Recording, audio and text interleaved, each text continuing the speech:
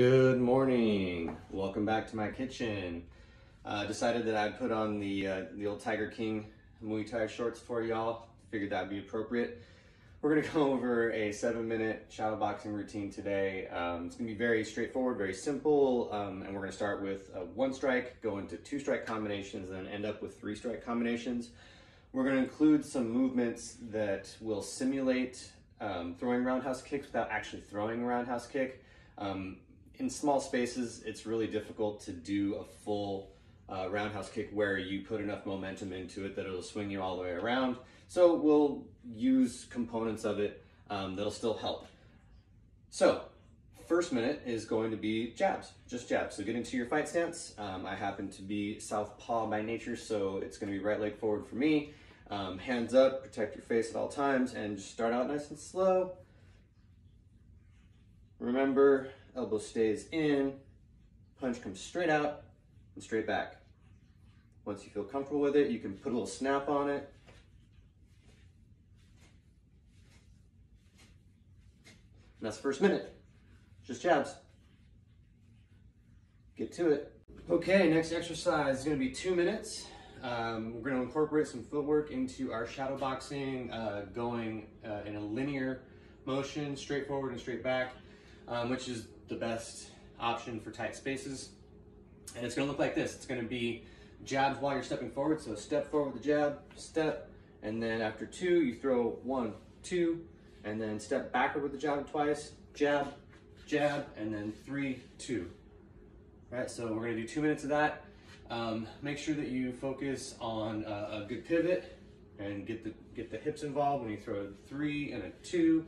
Um, make sure that you keep your hands to your face and return them to your face after you throw the punch. And when you take your steps forward, you want to widen your stance and then shorten it. Widen, shorten, right? Widen, shorten, widen, shorten. And don't leave your rear foot behind when you're moving.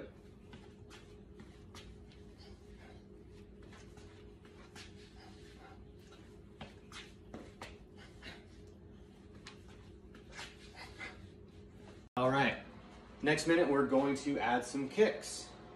Uh, more of a kicking motion than a full kick because we're simulating uh, the pivot that we do when we perform roundhouse kicks. So that's what we're gonna do. Uh, because we're in a tight space, I don't wanna kick my fridge and I don't wanna kick my dishwasher. So um, it's gonna be a one punch, one kick combination, very simple.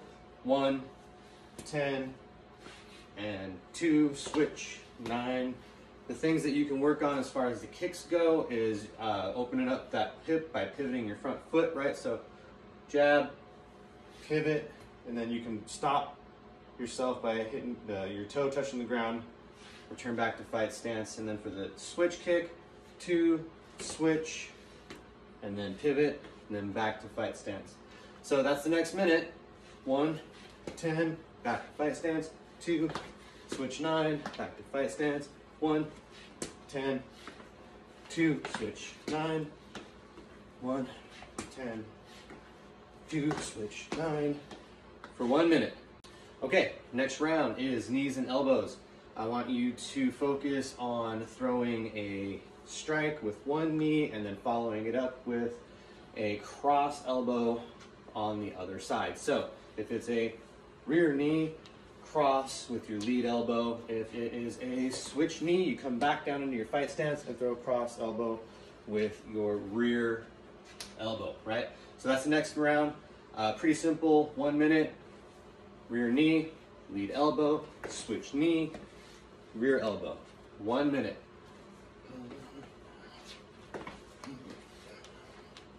All right, now we're gonna put it all together and do some three strike combinations. Uh, we start out the single strike, just a jab. We moved into two strike combinations, one punch, one kick, or knee and elbow. Now we're going to have uh, three strike combinations that you can do kind of in a linear fashion, um, given the kind of limited space that we have in our kitchen. So it's gonna be uh, 2, 3, 10, 1, 2, 9, uh, 6, 3, rear knee, and then 5, 2, switch knee. So we're gonna go two, three, 10, one, two, switch nine, six, three, rear knee, and five, two, switch knee, then reset. Two, three, ten. One, two, switch nine, six, three, rear knee. Five, two, switch knee. Two minutes. Rotate through those combinations.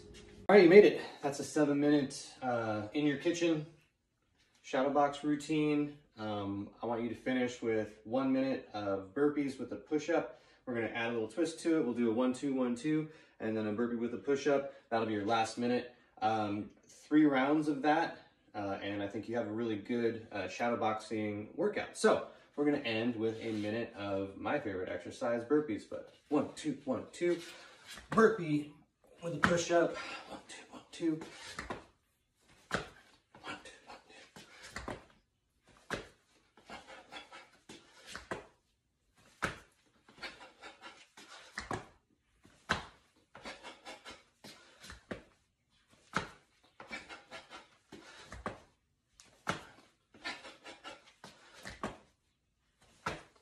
All right. Get after it, everybody. Have a good day. See ya.